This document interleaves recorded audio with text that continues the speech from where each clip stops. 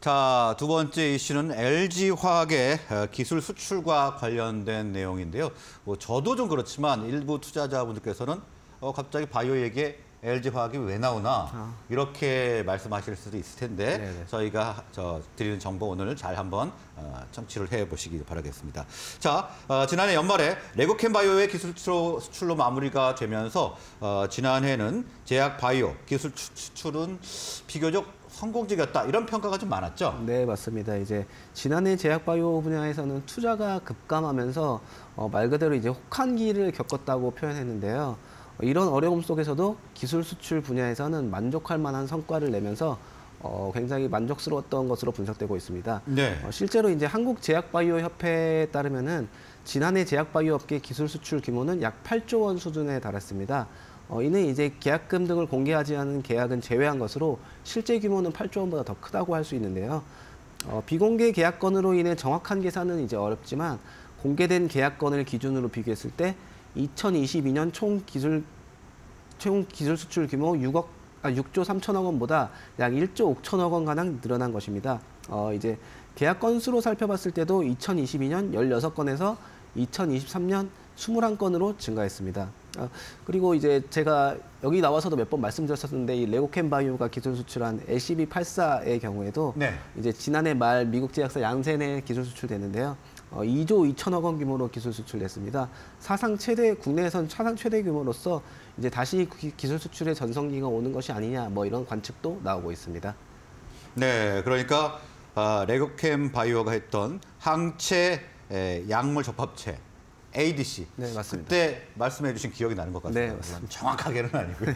자, 어, 올해는 시작하자마자 LG화학이 기술 수출에 성공을 하면서 이 기술 수출 분위기가 이어지고 있다고요. 네, 이제 아까 처음에 말씀해 주신 대로 LG화학이 왜 나오나 뭐 그렇게 생각하실 수도 있는데 네. LG화학엔 생명과학본부라고 이제 의약품과 백신 등의 사업을 담당하고 있는 부분이 있습니다. 자, 그러고 보면 LG화학이 정말 큰 기업이에요. 그렇죠. 다양한 사업을 하고 LG화학이 지금 어, 화학뿐만이 아니라 배터리 하고 있죠. 네, 또 배터리. 그리고 LG에너지도 여기서 분사시켰는데도 어, 배터리 분야, 2차 전지 관련돼서 굉장히 크게 사업 분야를 하고 있고 지금 생명과학 분야도 상당한 규모로 네. 사업이 진행되고 있네요. 네, 이제 뭐 1조 원까지도 이제 뭐몇년 안에 내다볼 수 있다고도 음. 보여지고요. 네. 어 이제 말씀드린 대로 이번에 이제 기술 수출했던 내용을 좀 설명드리자면은 지난 5월 달 5 일에 미국 리듬 파마슈티커스와 희귀 비만증 신약 LB 54640이라는 물질의 이제 글로벌 계약 그 개발 및 판매 권리를 이전하는 계약을 체결했습니다. 예. 어, 총 계약 규모는 4천억 원 정도로요.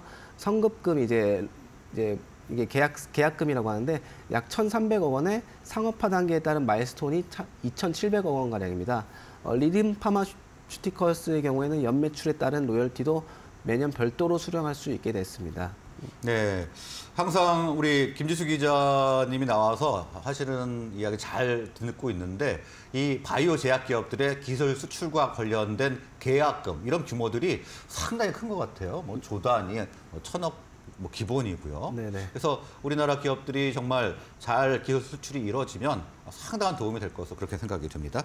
자, 방금 전에 이 희귀 비만증이라고 이야기를 하셨는데 자, 이게 어떤 걸까요? 어, 이제 희귀 비만증의 경우에는 포만감 신호 더 유전자 뚱뚱해지는 겁니까? 네, 더 이제 뭐 어떤 유전자적인 이상으로 인해서 비만이 생기는 건데요. 좀 구체적으로 설명드리면 이 포만감 신호 유전자라는 이 MC4R이라는 것이 있습니다. 이 가- 작용 경로 등 특정 유전자 결함으로 인해서 식욕 억제 제어에 이상이 생기는 겁니다. 네. 식욕 억제에 이상이 생기면서 비만이 계속해서 심화되는 건데요. 어 이제 자- 당연히 정상적인 사회생활이 이제 어려워지는 희귀 질환이고요. 이제 보통 소화 시기에 증상이 나타납니다. 그래서 이제 LG화학이 기술 수출한 물질의 경우에는 세계 최초의 경구제형 먹는 이제 포만감 신호 자- 유전자 작용제로 임상 일상 결과 용량 의존적 체중 감소 경향성과 안전성이 확인됐습니다. 어, 이를 바탕으로 이제 기술 수출에 나간 건데요. 어, 이제 임- 지난 10월 달에 미국에서 임상 2상에 돌입했으면서 돌입했으며 어, 이제 기술 이전 받은 미든 파마슈티커스가 이를 이관 받아서 화- 시, 어, 시험자 모집에 곧 나설 계획입니다. 네, 이미 지금 미국에서 임상 2상이 진행 중인 거네요. 네, 맞습니다. 네. 자, LG화학이 이렇게 생명과학 분야에서 성과를 자주 내는 것 같아요. 네, 은근히 이제 뭐 자주 나오고 있는데요. 네. 이제 LG화학의 경우 이번 기부, 기술 수출로 신약 개발 역량을 다시 한번 이제 입증한 것으로 분석됩니다. LG화학의 경우 이제 1997년 영국 영국 GSK에 항생제 개발권을 이전하는 이제 3,775만 달러 규격을 규모 계약을 맺은 적이 있는데요. 이게 첫 기술 수출이었습니다. 이후 이제 크고 작은 기술 수출에 나섰었고 2007년에는 미국 길리어드 사이언스에 간질환 신약을 수- 수출하면서 7억 달러, 2억 달러 규모가 가장 컸는데 어, 이번에 이제 뭐 이런 것들을 또 진행하면서 다시 한번 또 그 기록을 넘어섰, 넘어섰다고 볼 수 있습니다. 네, 자 이렇게 생명과학 분야에서 어, 지금 성과를 이루고 있는데 이러다 더 성과를 이루면 또 분산하는 거 아닌지 모르겠습니다.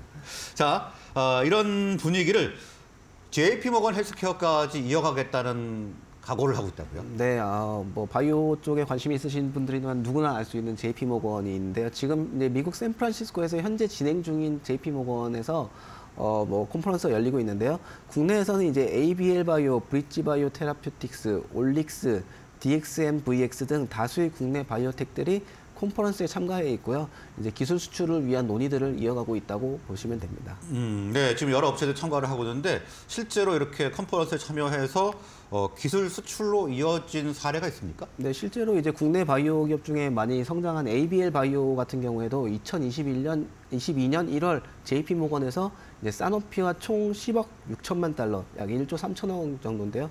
어, 기술 수출 계약을 성사시킨 바 있고 유한양행의 레이저 마- 많이 말씀드렸었는데 이것도 이제 어, JP 모건에서 소개를 하고 그해 같은 해 얀센에 기술 수출한 사례라고 볼 수 있습니다. 음, 네, 이렇게 몇 가지 경우가 있는데, 자, 시간 관계상 이번 질문은 조금 짧게 드리도록 하겠습니다. 자, 이 JP모건 헬스케어 이후에 어떤 기업들의 기술 수출이 좀 기대가 되고 있습니까? 네, 이제 제가 뭐 딱 하나 이제 좀 집어서 말씀드리자면은 올해는 이제 에이비온의 비소세포 폐암 c-MET 돌연변이 표적 치료제 바바메킵이 좀 기대되는데요. 네. 이 바바메킵의 경우 경쟁 약물은 노바티스의 타브렉타라는 것이 있는데 아, 머크와 테, 테, 테코라는 것도 있습니다. 네, 이미 시판 중인 약물들인데요.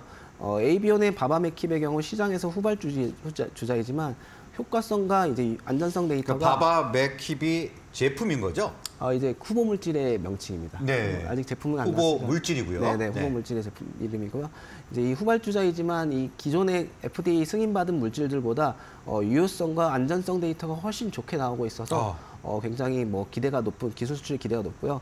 어, 기존에 이제 중국 바이오 기업의 이제 CMS 표적을 하는 치료제 파이프라인이 4천억 원 가량의 기술 수출된 사례가 있는 만큼 이 바바메킵의 경우에도 한 5천억 원 정도의 기술 수출되지 않을까. 어, 5천억 원 정도. 네, 이렇게 뭐저 네. 개인적인 뭐 추측이긴 한데 아, 뭐 그런 들 알겠습니다. 기대됩니다. 자, 에이비온의 바바 맥힙 어, 후보 물질까지 알아봤습니다. 자, 오늘 말씀은 여기까지 듣도록 하겠습니다. 수고하셨습니다. 감사합니다. 네.